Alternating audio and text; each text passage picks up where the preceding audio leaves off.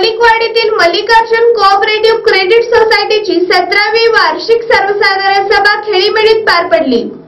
सभासदांचा विश्वास संचालक मंडळाचे मार्गदर्शन आणि कर्मचारी वर्गाच्या सचोटीने प्रगतीचा आलेख उंचावत असलेल्या मलिकवाड येथील मल्लिकार्जुन कोऑपरेटिव्ह क्रेडिट सोसायटीच्या चिक्कोडी आणि निप्पाणी तालुक्यात प्रत्येकी एक अशा आणखी दोन शाखांची स्थापना करण्यात येणार असल्याची माहिती संस्थेचे संस्थापक चेअरमन एड इंगळे यांनी दिली.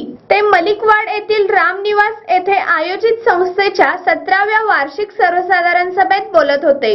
अध्यक्षस्थानी संस्थेचे व्हाईस चेअरमन नागोजी ठोंबरे हे तर प्रमुख पाहुणे म्हणून हाल शुगरचे माजी चेअरमन सुकुमार पाटील बुद्धिआळकर शेतकरी नेते बाबासो खोकाटे यांची उपस्थिती होती. इंगळे पुढे बोलताना म्हणाले सध्या मल्लिकार्जुनच्या मुख्य शाखेसह तीन शाखा प्रगतीपथावर कार्यरत असून येत्या अहवालसाला चिक्कोडी आणि निप्पाणी तालुक्यात प्रत्येकी एक शाखा स्थापन करण्यात येणार आहे. यामुळे आता शाखांची संख्या पाच वर पोहोचेल.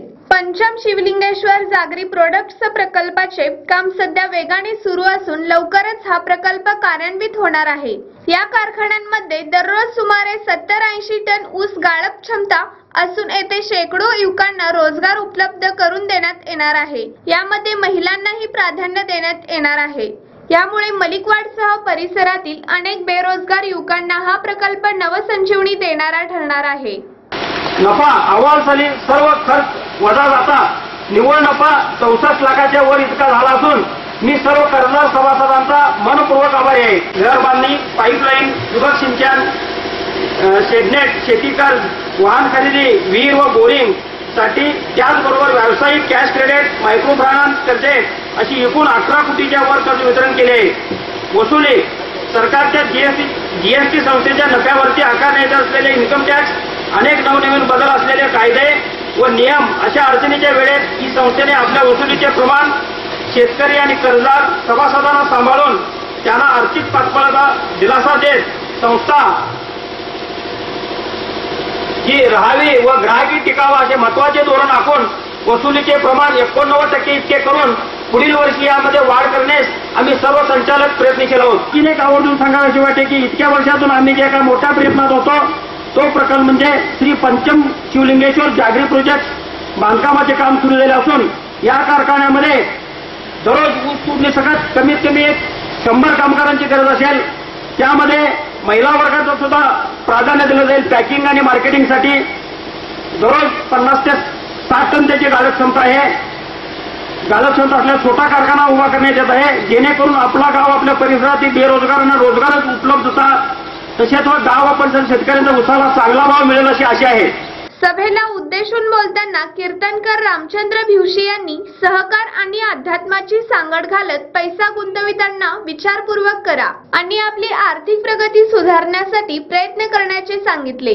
संस्था बँका कशासाठी? आमच्या परमाला सांगतो जगाच्या कल्याणा संस्थांच्या होती हे कर्तव्याची आहे. जगाच्या कल्याणासाठी संस्था आहे. म्हणजे त्या पाठीमागे काय पुढे कर्मचाऱ्यांचा पगार मिळवा म्हणा काही संस्था मोठी होण्यासाठी म्हणा एक दोन टक्का व्याज व्याज असेल छोट्याच्या रकमेला. पण ती संस्था तुमच्या ते चार पैसे देते त्या पैशाचं कार्य कसं करावं हे कळलं पाहिजे. तर शेतकरी नेते बाबासो खोकाटे यांनी शेतकरी वर्गाने ऊस दराबरोबर अनेक पिकांना मिळणाऱ्या दराची तफावत बाबत विचार करावा. घामाचे दाम हक्काने मिळवण्यासाठी लढा देणे गरजेचे आहे. अन्यथा शेतकरी वर्गाचा आवाज दाबला जातो. म्हणून शेतकरी वर्गाने संघटित होणे गरजेचे असल्याचे सांगितले. शेतकरी नेता म्हणण्यापाठीमागचा उद्देश आज तुम्ही इथं महाराष्ट्रात बघता आणि कर्नाटकात बघता काय परिस्थिती आहे. आपण फक्त नदीच्या पलीकडे नदीच्या अलीकडे आहोत.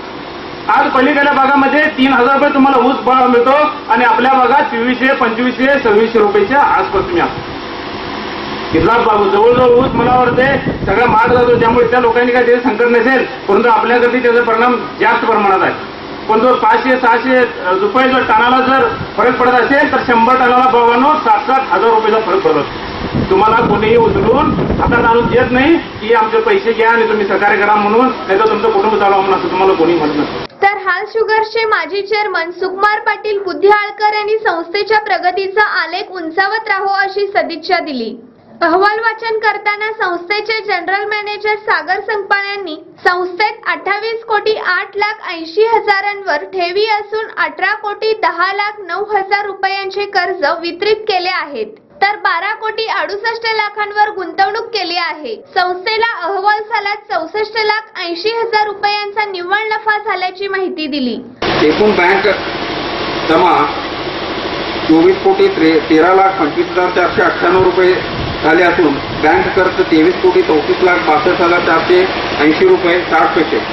एकूण जमा एकूण जमा एकशे बावीस कोटी ऐंशी लाख सदुसष्ट हजार दोनशे तेरा रुपये ब्याऐंशी पैसे. ग्रामीण अर्थव्यवस्थेचा पायापालट कलट करण्यामध्ये बँकिंग व्यवहाराचा मो- मोलाचा वाटा आहे. सहकार क्षेत्रात पारदर्शी कारभारातून विश्वासात पात्र ठरलेल्या आपली Shri Mallikarjun cooperative society limited Malikwad या संस्थेने मंदीच्या काळात देखील प्राप्तिकर व सरकारी आदेशांचे पालन करीत अगदी काट काटेकोरपणे पालन करीत परिणामी अहवाल वर्षी आपल्या संस्थेची वार्षिक उलाढाल जवळजवळ दोनशे चव्वेचाळीस कोटी इतकी झाली आहे. त्यामध्ये तुम्हा सर्वांनी संस्थेत दर्शवलेला विश्वास हाच अतिशय महत्त्वाचा आहे. पुढील वर्षी याहीपेक्षा जास्त व्यवहार वाढविण्यासाठी प्रत्येक शेतकऱ्याने आपली ऊस बिले आपल्या संस्थेत पाठवून व प्रत्येक सभासदाने आपले सर्व व्यवहार आपल्याच संस्थेशी करून सहकार करावे अशी विनंती करतो. सभेत ग्रामपंचायत अध्यक्षा अनिता वडगावे स्वामी विवेकानंद शिक्षण संस्थेच्या अनिता इंगळे ग्रामपंचायत सदस्य राजेंद्र पाटील अक्षय इंगळे चांद शिरदवाड शाखाध्यक्ष शीतल पाटील यांच्यासह मलिकवाड शिरदवाड यमगर्णी हंचिनाळ परिसरातील सभासद ग्राहक उपस्थित होते.